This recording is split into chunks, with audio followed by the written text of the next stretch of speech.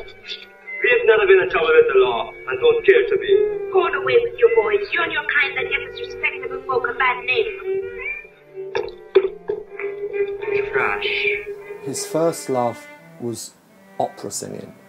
But back in the 1950s, when he trained at the Royal Academy of Music, there just weren't opportunities for black British opera singers. So he turned to acting, started working as a film extra in, in 1955, and then worked his way from there. Here was an actor of stature, you know, 40, 50 years ago, establishing uh, you know, a presence in British film which no other black person, perhaps Earl Cameron had as well. So, you know, to, to receive this Legacy Award is just so well earned. What a talent. He was a great, a great, great man. A little underestimated by um, the kids today. There is, there is a problem uh, we have with uh, young black actors in that they don't know what was done before them.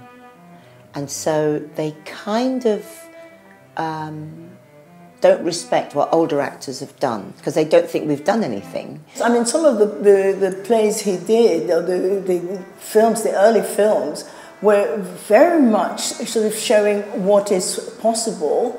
Now get this.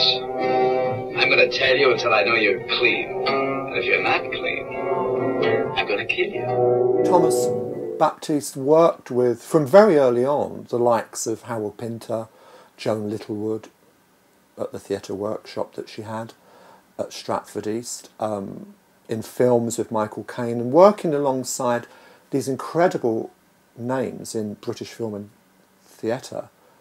It, it's kind of sad in a way that he wasn't remembered as well as he should have been. Thomas Baptiste even mentions it, you know, in terms of that beginnings of how he would manage to break through onto the stage, but it's also maintaining a career. You know, to have um, longevity in this business for a black performer was, you know, it's virtually unheard of. In fact, it was such a struggle just to get on to the yeah, in front of a camera in this country when I came in the 60s. In a way, people like Tommy uh, was actually breaking ground and making a pathway for the rest of us. Apart from his work um, in film, of which there are many, many roles, prestigious roles, um, that he played, um, he was someone who was incredibly important in theatre and someone who was also had an operatic kind of career. And so there's a way in which I think his unique contribution as someone who was able to permeate the kind of, you know, high arts of theatre um, and music in this country is really someone who, in a way, led the way for black actors occupying particular positions, um, which we maybe might take for granted a little bit more these days. He was also somebody who worked um, a lot with uh, the International Federation um, of Actors, so that he dealt with actors from all over the world, America, you know, Russia, France.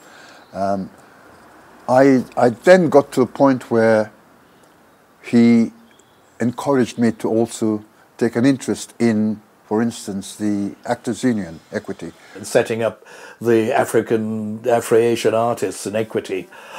And also his campaigning on the Equity Council for greater equality and greater exposure for black actors. So it's, it's, you know, it's great that this is being done by Screen Nation. And Tommy Baptiste is a deserving member of this award. Thank you, Thomas, for everything. Thank you for the way you loved me, encouraged me, helped me, introduced me to Jessye Norman, and helped to develop me as a creative person and as an actor. Thomas, I'm sorry it's a posthumous award, but I'm so pleased that you're receiving this Screen Nation honour because you really deserve it. If anyone deserves it, you do. For all the years of hard work and effort, not just as an actor, but as a, a campaigner. Well done, old boy. You've achieved it. You deserve it. People like Thomas Baptiste were the ones who sort of chopped down the trees and started the path for us to widen and to come. So I would say, brilliant, well done, but thank you deeply, deeply from our hearts. Thank you. Thomas Baptiste is someone who, you know, should have been knighted.